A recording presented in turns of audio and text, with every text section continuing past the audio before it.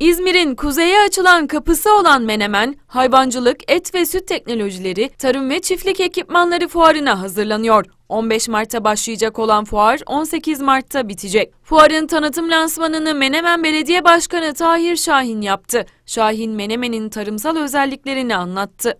Menemen'de tarım var mı? Menemen'de gerçekten muzun dışında topraklarımızda her şey yetişebilen, yetiştirilebilen bir tarım kentine olduğunun altını vurgulay- vurgulayabiliriz. Fuar tarıma dayalı sanayinin temsilcilerini çiftçilerle buluşturacak. Çiftçinin eğitilmesi hedeflerin başında yer alıyor. Köyümüz, çiftçimiz ne kadar bu tarım hayvancılık fuarından bilgi sahibi olursa birikim sahibi olacak demektir bu.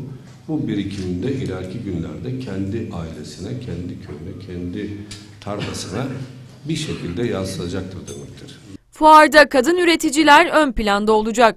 Fuarın paydaşlarından Menemen Ticaret Odası Başkanı Yılmaz Vural ulusal kanala konuştu. tarım kentimiz, sanayi kentimiz de düşünürken evet biz tarım kentiyiz.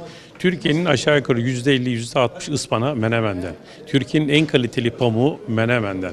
Türkiye'nin en kaliteli mısırları Menemen'den. Biz de Menemen Ticaret Odası olarak e, bu fuarın yapılmasında çok büyük emeğimiz vardır.